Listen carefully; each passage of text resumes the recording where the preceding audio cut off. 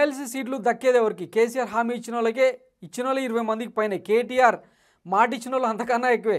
తమకు ఛాన్స్ ఇవ్వాలని కోరుతున్న ఆశావాహులు. రాష్ట్రంలో ఎమ్మెల్సీ ఎన్నికల సందడి చురువైంది Hyderabad local bodies teacher MLC స్థానాలకు నామినేషన్ల ప్రక్రియ గురువారంతో ముగియనుంది. ఎమ్మెల్యే కోటాలో ఖాళీ అయ్యే మూడు గవర్నర్ కోటాలో ఇంకో రెండు సీట్లకు ఎన్నికలు నిర్వహించేందుకు ఈ వారంలోనే ఈసీ షెడ్యూల్ ప్రకటించే అవకాశం ఉంది. తమకు ఛాన్స్ ఇవ్వాలని ఆశావాహులు మంత్రులు కేటీఆర్ హరీష్ రావు ఇతర ముఖ్య నేతల ద్వారా సీఎం కేసీఆర్కు పేర్లు చెప్పించుకునే ప్రయత్నం చేస్తున్నారు. రెండు వేల పద్దెనిమిది అసెంబ్లీ రెండు వేల పంతొమ్మిది లోక్సభ ఎన్నికల సమయంలో టికెట్ ఇవ్వలేకపోయిన పలువురు నేతలకు ఎమ్మెల్సీగా ఛాన్స్ ఇస్తామని కేసీఆర్ స్వయంగా మాటిచ్చిన నేతలు ఇరవై మందికి పైన ఉండగా మంత్రి కేటీఆర్ హామీ ఇచ్చిన వాళ్ళ సంఖ్య అంతకన్నా ఎక్కువే ఉంది. వారిలో కొందరికి కార్పొరేషన్ చైర్మన్లుగా అవకాశం ఇవ్వగా ఇంకా పదవుల కోసం ఆశపడుతున్న వాళ్ళ సంఖ్య భారీగానే ఉంది. వీరిలో ఎవరిని అదృష్టం వరిస్తుందో ఇంకొన్ని రోజుల్లో తేలనుంది. ఆశావాహుల లిస్టు పెద్దదే. తెలంగాణ ఏర్పాటు నుంచి కవి గాయకుడు దేశపతి శ్రీనివాస్ మండలి బెర్త్ ఖాయమని ప్రచారం జరగడం చిరు చివరి నిమిషంలో ఇంకొకరికి ఛాన్స్ ఇవ్వడం పరిపాటిగా మారింది. ఈసారి తనకు ఛాన్స్ దక్కవచ్చని ఆయన ఆశిస్తున్నారు. ఇటీవలే బీఆర్ఎస్లో చేరిన అలంపూర్ నియోజకవర్గానికి చెందిన చెల్లా వెంకట్రా వెంకట్రామరెడ్డి అవకాశం ఇవ్వచ్చని ప్రచారంలో ఉంది. ఆయన ప్రభావం గద్వాల జిల్లాతో పాటు ఏపీలోని కర్నూలు జిల్లాపై ఉంటుంది.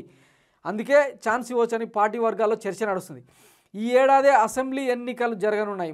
ఎమ్మెల్యేలుగా గతంలో అవకాశం ఇవ్వలేకపోయినా సిట్టింగ్లకు టికెట్లు ఇస్తే మళ్ళీ ఛాన్స్ రాదని భావిస్తున్న పలువురు నేతలు తమకు ఛాన్స్ వస్తుందని లెక్కలేసుకుంటున్నారు. ఖమ్మం జిల్లా నుంచి మాజీ మంత్రి తుమ్మల నాగేశ్వరరావు పదవి ఆశిస్తున్నారు. పొంగులేటి వెంట వెళ్తున్న లీడర్లో ఒకరిద్దరు పేర్లు పరిశీలనలో ఉన్నట్టు సమాచారం. మాజీ మంత్రి జూపల్లి కృష్ణారావు వచ్చే ఎన్నికల్లో టికెట్ ఇవ్వలేకపోతే ఎమ్మెల్యే ఎమ్మెల్సీగా ఛాన్స్ ఇవ్వాల్సి ఉంటుంది. మునుగోడు ఉప ఎన్నికకు ముందు పార్టీలో చేరిన మండలి మాజీ చైర్మన్ స్వామి గౌడ్ దాసోజు శ్రవణ్ కుమార్ మాజీ ఎమ్మెల్యే ఎమ్మెల్యే భిక్షపమయ్య గౌడ్ మాజీ ఎంపీ రాపోలు ఆనంద భాస్కర్ మరో నేత పల్లె రవికుమార్కు ఎమ్మెల్సీగా అవకాశం ఇస్తానని కేసీఆర్ హామీ ఇచ్చారు.